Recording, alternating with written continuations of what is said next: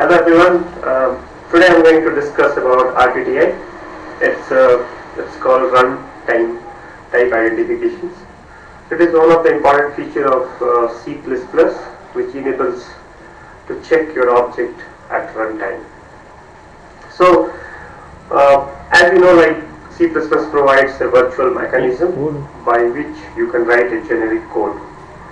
So C++ virtual functions enable us to write abstract based classes and take you know various uh, subclasses, instantiate it and use it generically like how you can use a, a base class. Let's consider a very popular systems which we use day, day to day, every day is a graphic system. You have a graphic graphics frameworks in which basically you interact with various windows. You have a windows, let's say if you use Word, Notepad, or, or let's say you use uh, you know mm, browser. So all are windows, and then you have some options where you can you know type something. You may have a way to customize some of your options. You may have right mouse events and various things. So if you see this uh, windows, these are basically implemented as a very basic window on which some basic functionality are defined like they must have a coordinates on which this windows exist. They must have some draw functions on which basically you know you can draw it. Uh, so what the graphic system does, they also have an event handling mechanism. So you pass an event to it and it will respond. So they know like what sort of windows we have and they just delegate it to the windows to handle it. Okay. So what we do in, in say a logic to draw, we just go take each object, all the instances what we have for uh, all the windows and we just call draw on it without knowing what is the actual implementation, what is the actual object basically it is.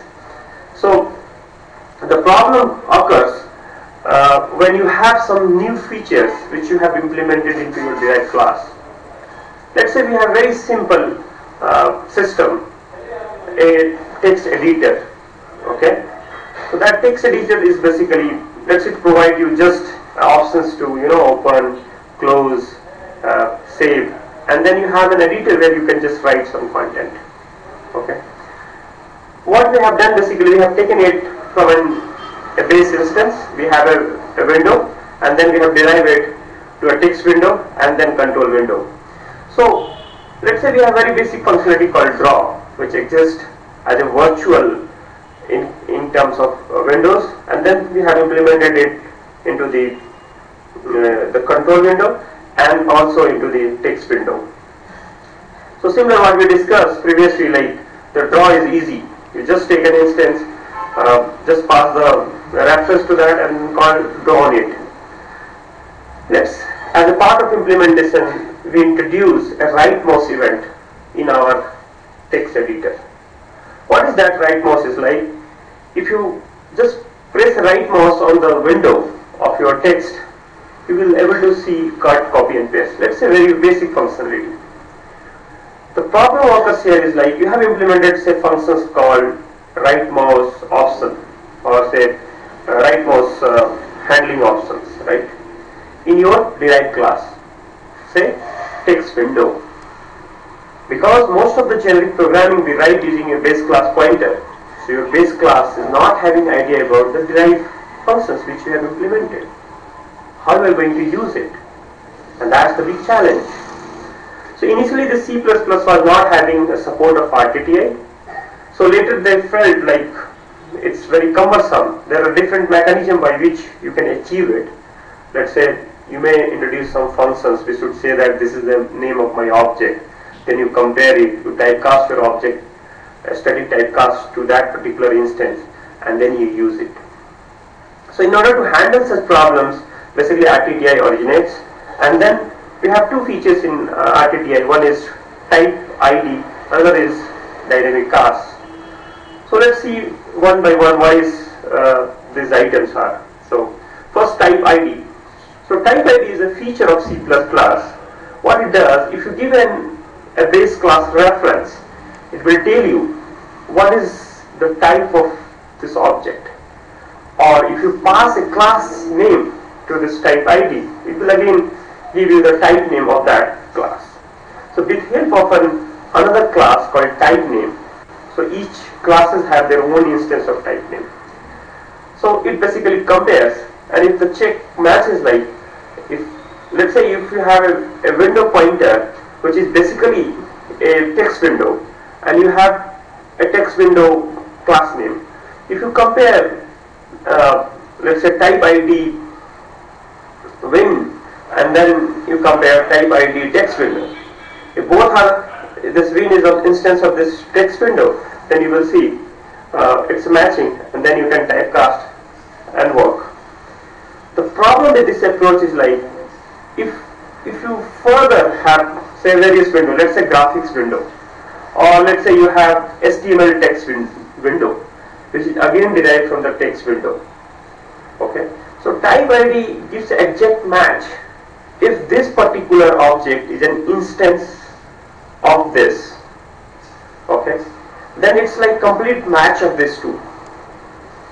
So the problem exists like if you go and introduce further let's say five classes, you have to go and modify your right mouse handling code saying that if type ID of bin equal to type ID of new window type matches then do this and then do this. So that problem is solved with help of you know dynamic cast. We'll see both of them uh, partially uh, in the code session. So what type ID, uh, sorry, what typecast does, um, dynamic typecast does is basically it takes a pointer or reference and then it converts them into the your uh, re requested type. If it is able to convert it properly, it will return you the object. Okay. Uh, if it is uh, a pointer, it will return you the object pointer. If it is reference, it will return you the object reference. And then blindly you go and uh, use it okay so dynamic cast basically serve purpose uh, it, it's it's basically is-a relationship. You have a base class or you have say intermediary class and then you may be deriving say 10 classes subclasses out of it. Okay? So if you just provide this intermediary class it will just check whether this particular instance it may be like one of from this 10 so it will just check if it is an uh, you know, a relationship. If it is derived from this, it will convert you. And then you, you can leverage your, you know, the extra features or the function which you have implemented in derived classes. So dynamic cast come into two flavor. So you can pass your uh, base class pointer to the dynamic cast. If it is able to typecast properly, it will return you the address else it will return you null.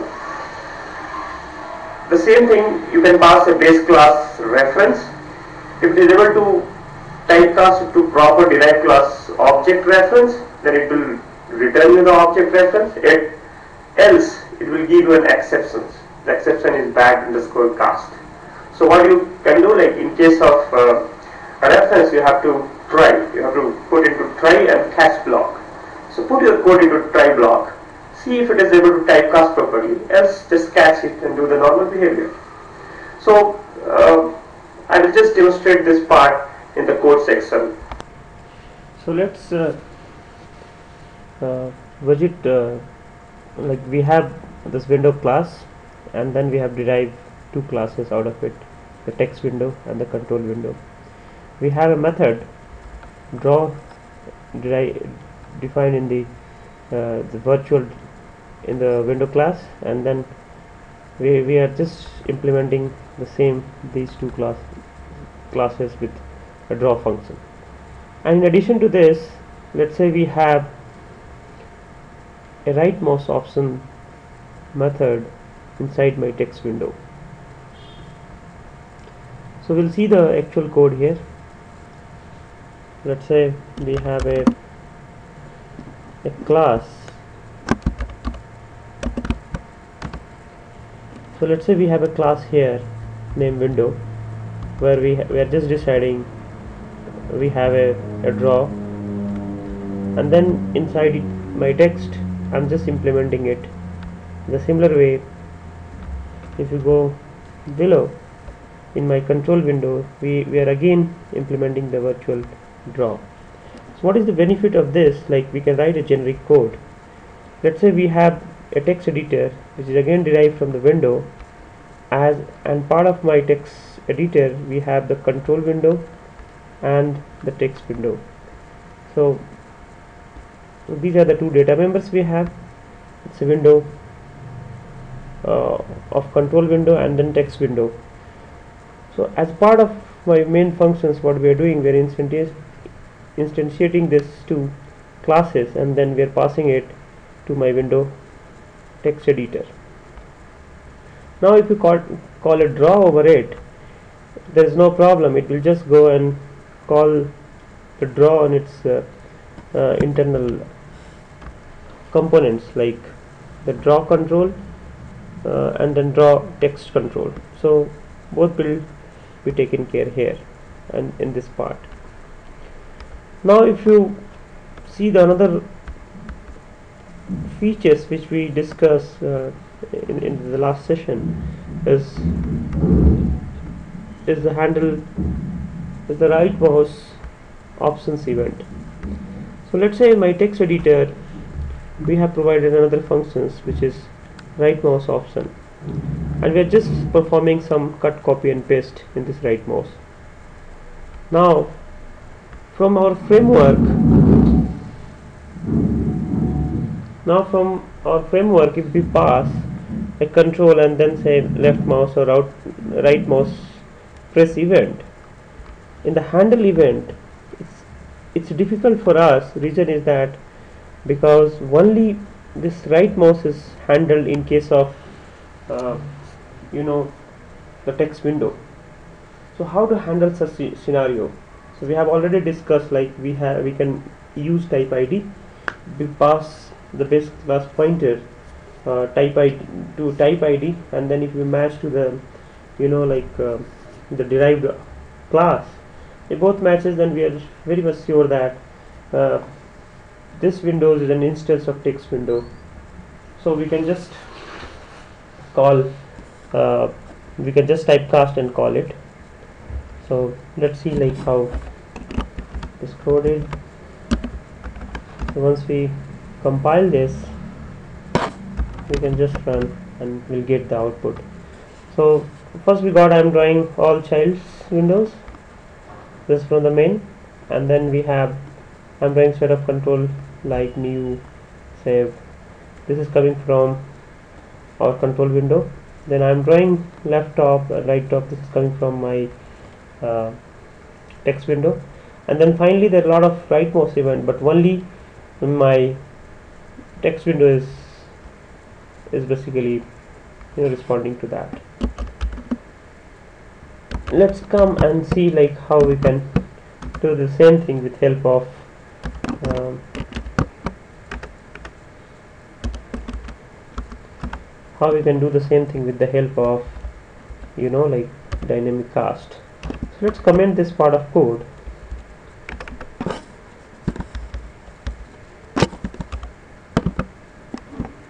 have just commented this part of code and what we are going to introduce here is like if it is right mouse press let's try to typecast it using a dynamic cast and see if the given window is of type text window.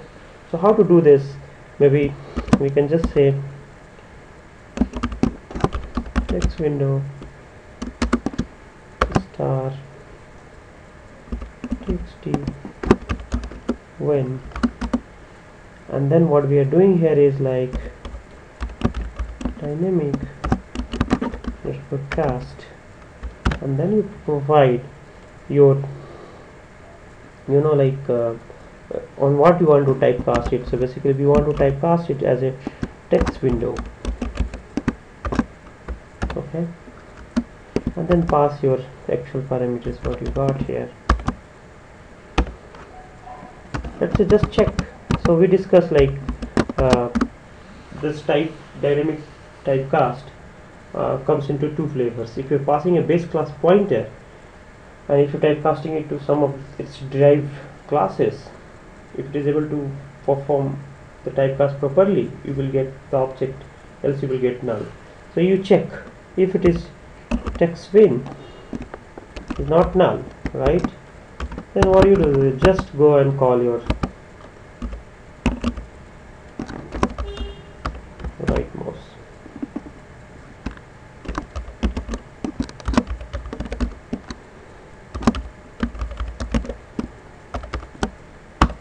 Okay.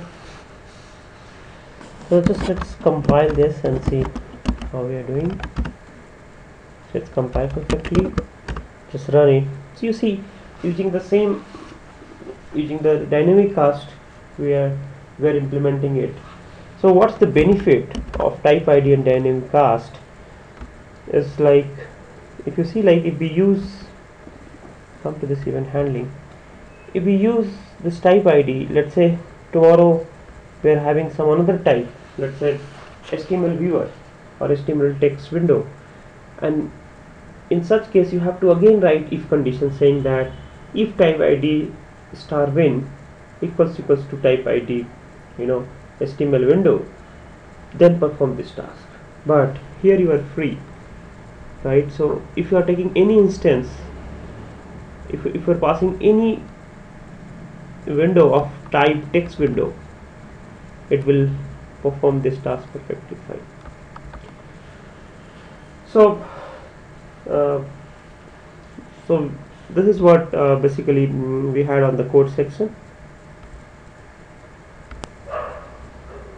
Gives it empowers you you know to take the decision at runtime though there is a bit overhead involved here reason is that it, it concerned to the type name class and try to get what object it is.